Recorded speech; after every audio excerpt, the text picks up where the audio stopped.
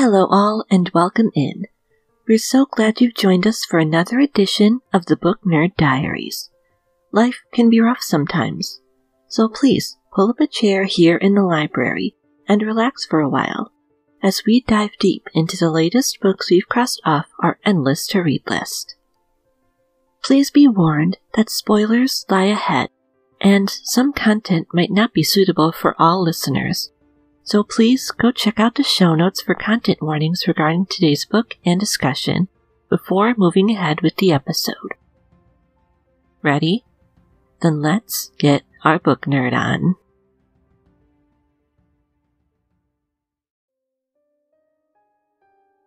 There's nothing more universally nostalgic than a good board game.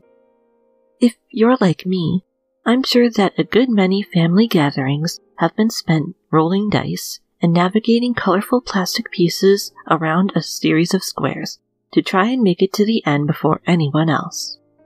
Everyone has their favorite games, of course. I'm a fan of Clue myself, though I'm not very good at it. But one that arguably has the most distinctive visual appeal of them all is a little game called Candyland. Though it's been a while since I've played Candyland myself, I'm sure that a lot of people can instantly conjure up images of what the game looks like. A series of whimsical candy inspired characters can be found along the perimeter of the board, dressed as candy canes or gumdrops. And each of these characters holds court over a specific area of the candy world you're navigating through. Everyone loves candy, of course, and everyone loves a good adventure. So it only goes to say that Candyland has been delighting children of all ages for decades now. The fabulous book that we'll be talking about today, Once Upon a Broken Heart by Stephanie Garber, evokes that exact same sense of wide eyed childhood wonder that the beloved candy based board game does. Beware though, not everything in these pages is sugar and spice and everything nice.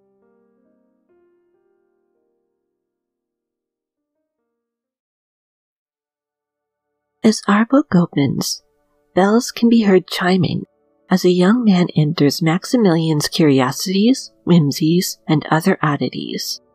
The girl tending to the shop barely heeds the noise as she promptly turns back to her work. There's a lot to be done, so what is one more customer, more or less? Next, we see our protagonist, Evangeline, as she pays a visit to the Church of the Prince of Hearts. In Evangeline's land of the Meridian Empire, a pantheon of major and minor deities known as fates form the core of people's religious system.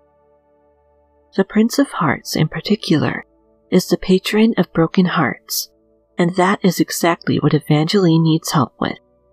After making her way through the church's hidden door, she heads inside and sees a statue of the prince himself as the centerpiece of the room. Prayers require payment, and so she drips her own blood onto the statue as she sends her desperate pleas to the fate. Luc, the boy Evangeline had been secretly dating for a while now, is now engaged to her stepsister Marisol, and she must find a way to bring her love back to her. A boy who had been quietly crying in a pew, whom Evangeline had not paid much attention to when she had first entered, approaches her and reveals that he is the Prince of Hearts himself. The prince introduces himself as Jax, and agrees to stop Marisol and Luc's wedding if she agrees to kiss three people of his choosing in return. Desperate, Evangeline agrees, and Jax places three marks on her arm to seal the deal before disappearing. It is dangerous to make a deal with the fate, and so Evangeline instantly makes her way back home, to where preparations are being made for the wedding. When she reaches home, she is absolutely horrified to find that everyone has been turned to stone. Jax suddenly appears next to her, a smug smile on his face, and points out that he had stopped the wedding just as he had promised.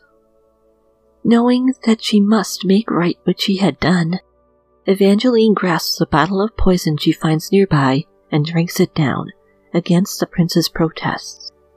Luc, Marisol, and the rest of Evangeline's loved ones turn back into themselves as Evangeline starts transforming into a statue herself. Relieved that she had been able to fix her mistake, Evangeline hopes that someone will be able to save her.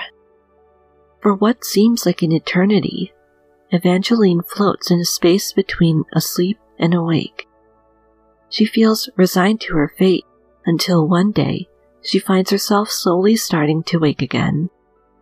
Once she is back in her human form, she finds that she has been a statue for six weeks and was revived by another fate known as the Poisoner. When Evangeline returns home, it is to a grand hero's welcome. They believe her to be your family's savior, and in gratitude, they throw a special party in her honor. In the midst of the celebration, Marisol pulls her aside to pass along the tragic news that Luc was attacked by a wolf. This event, Evangeline knows, is retribution for her return to the world of the living. She wishes more than anything to tell Marisol the truth about her deal with Jax, but can't bring herself to. If she were to reveal her betrayal, she asks herself, would her stepsister ever forgive her? She had made her deal with the prince after all, in the belief that Marisol had put her beloved under a spell to make him choose her instead. She still has hope that Luc could return to her after finding a letter from him in her room, but she soon discovers that he had truly loved Marisol after all. Evangeline starts to doubt whether she had been wrong after all, and finds herself more heartbroken than ever. Despite her secret treacherous deal with the Fate, Evangeline is still considered a hero by her people. This culminates when no less than the Empress of the Meridian Empire sends her a letter, summoning her to tea for the next afternoon. This incredible invitation is one Evangeline can't possibly turn down, and so she attends the meeting, where the Empress presents her with a very unique opportunity. The Prince of the magic laden kingdom of the magnificent North is soon to host a very special party called Nocte Neverending, during which he is tasked with finding a wife. The Empress herself is busy with other matters and wishes Evangeline to attend in her stead as a representative of her kingdom. Though hesitant at first, Evangeline accepts the invitation on the condition that Marisol goes with her, to which the Empress immediately agrees. On returning home, Evangeline seeks out Marisol and tells her about the arrangement. Marisol is immediately thrilled at the prospect of going to the magnificent North and being part of such a prestigious event, so the two sisters instantly start making plans for their journey.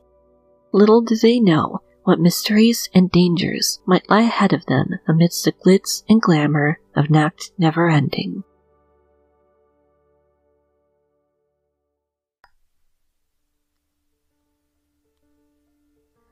Dear book nerds, it looks like we need to step away for just a moment. Don't worry though, we'll be right back after this very quick break. Please don't go anywhere.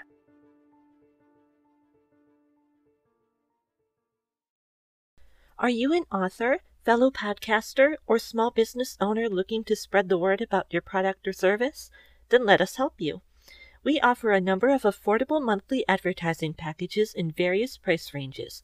So if you'd like to hear your ad here in future episodes, please head on over to our page at ko-fi.com slash bndpod and click on the shop tab to see what works best for you.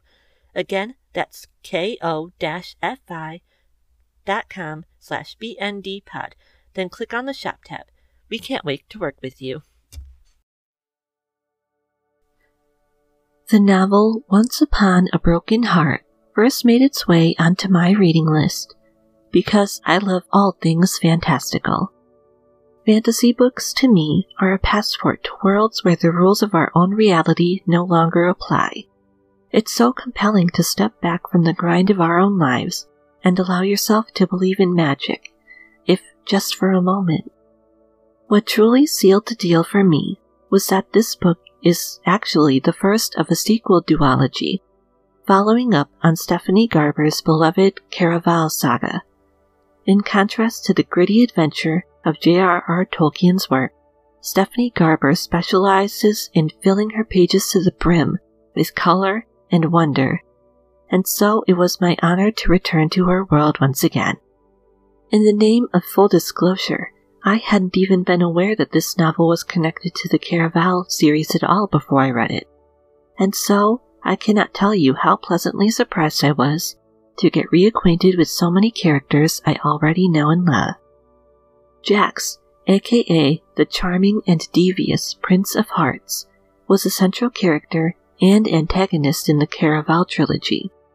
Once Upon a Broken Heart ultimately picks up where that story left off and shows us what he's been up to in the years that follow. Due to the fact that this is a sequel, it enriches all of the previous material that came before while still standing up on its own at the same time. While it would most likely help to read the Caraval books first beforehand, Once Upon a Broken Heart does a good enough job of providing any necessary backstory that is needed. New initiates to Stephanie Garber's work can still keep pace with what's going on and enjoy her delightfully technicolor world without feeling completely left out in the process.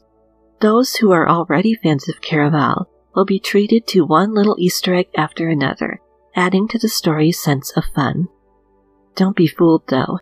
Stephanie Garber's world might be as whimsical and charming as Willy Wonka's Chocolate Factory or Alice's Wonderland. There's also a deep well of darkness that runs underneath it all.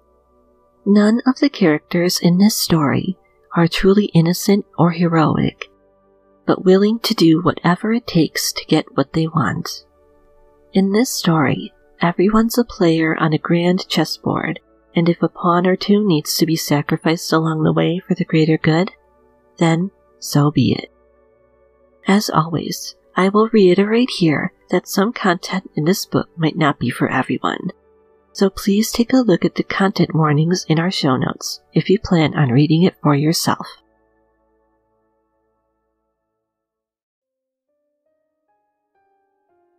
It is here, dear fellow book nerds, that our discussion for today comes to an end. Your visits here in the library are always an absolute joy, and we are so glad that you've joined us. Before we say farewell to you for now, however, we have some very special thank yous to give out.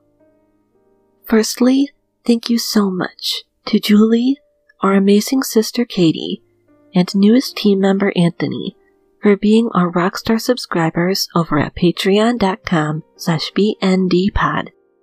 This podcast helps us pay our monthly bills, so we truly can't keep the lights on here at the library without your kind support.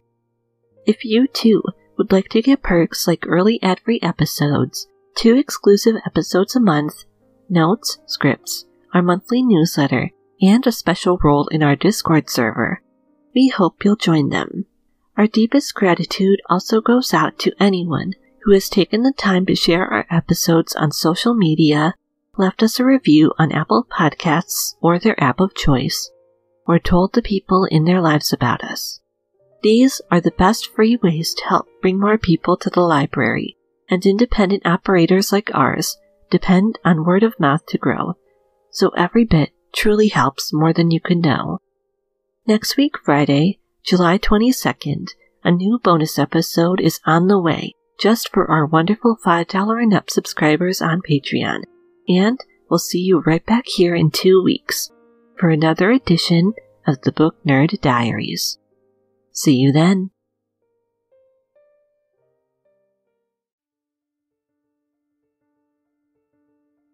The Book Nerd Diaries is written, edited, researched, and hosted by me, Amber Wiltgen.